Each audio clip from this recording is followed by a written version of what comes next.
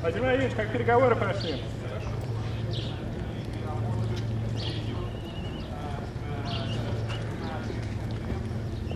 Как прошли переговоры, Владимир Владимирович? А каким жестом вы бы описали эти переговоры? Каким жестом описали бы переговоры?